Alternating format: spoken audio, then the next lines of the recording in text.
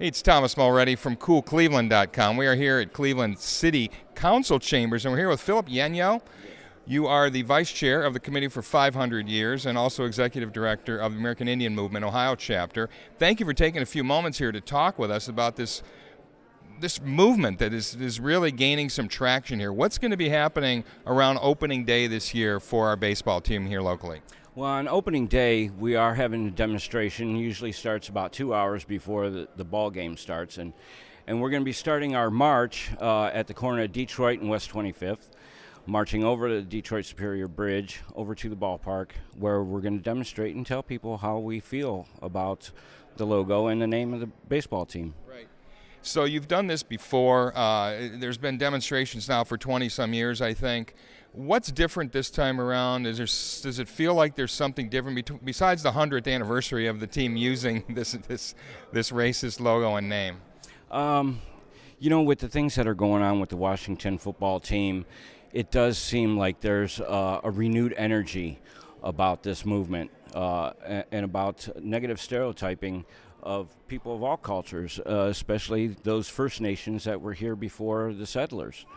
Um, it, it's it started out last fall with uh, Washington playing Minnesota, and there was a very very large turnout there. And when we here in Cleveland saw that, um, you know, 5,000 people showed up there for that, and we're hoping that we can get the same kind of of uh, of support from from everyone around the country, just like what happened in, in Minnesota. What do you uh, what do you expect the team to do uh, exactly, specifically? Well, I would hope that the Dolans would sit down to talk to us. Um, over the years, they've never extended a hand. We've asked to sit down and talk to them, but um, they've never wanted to sit down and talk to us. I mean, it's it's a matter of sitting down and discussing the issue, and and coming to a consensus. You know, we want to help them change. You know, we don't want a lawsuit. I, I don't know who this guy is that's trying to bring up this lawsuit, but you know, it's not about money. It's never been about money. It's about a, a mutual cultural respect. It's respect as other human beings, and we just feel that we deserve the same respect as other people. You know. Phil, thank you so much for taking a few moments and talking with us. Good luck this week. Thank you very much. Um, we're here at Cleveland City Council. We're here with Councilman Zack Reed.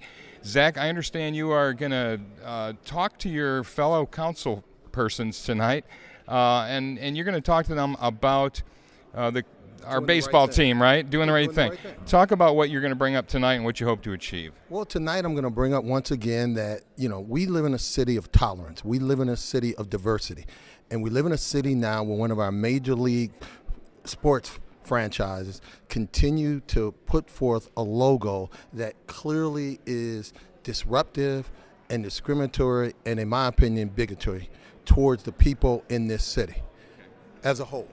So, uh, given that uh, it's been that way for, I think it's the 100th anniversary or so of that, um, the calls for it to change have been increasing and increasing. There's going to be even more this year. What do you hope specifically City Council can do about this? Are you talking about uh, passing legislation?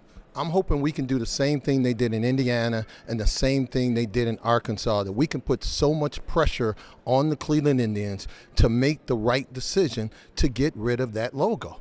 When you look at the fact that it looks just like the black sambo. I mean, we can we can try to skate around it, we can try to make it look this way or that way, but if you put those two pictures up against each other, the only difference is you got a red face and you got a black face. We outlawed sambo years ago. The time has come a hundred years later to finally ban the wahoo.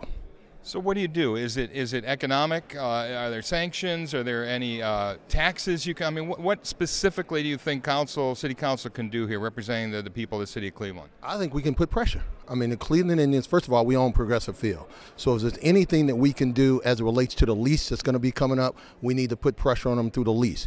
We own a lot in and around Gateway. We need to figure out whether or not we can continue to let them put up banners that have that display.